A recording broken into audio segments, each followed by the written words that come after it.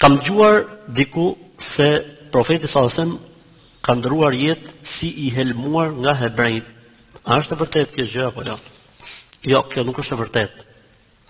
Pejgamberi sallallahu alejhi ve sellem ka ndërruar jetë normalisht siç ndrron jetë një njeri.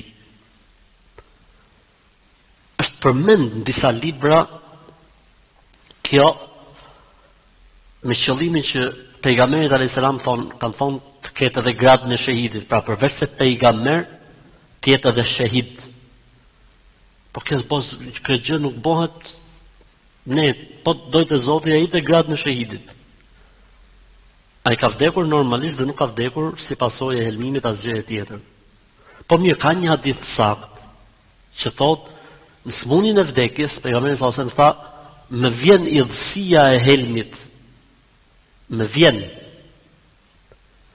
gjatë agonisë së vdekjes, e ka thënë pejgamberi salasem këtë gjë, e ka thënë, po kjo nuk do thotë se ka vdek i helmuar, se mas helmit ka jetu gjithatë kohë mas helmit, As nuk ka thonë që po vdes prej helmit, as nuk ka thënë më helmuan. E ndjej, i ka ardh në një moment ajo shija. Me ça kuptimi? Ta kuptojmë. Jo se ka shfaq helmi. Po agonia e vdekjes dhe dhimjet dhe heka e vdekjes i kanë dhënë të njëjtin siklet siç i ka dhënë sikletin helmi që u helmua nga hebrejt. Po jo se ka vdek prej helmit.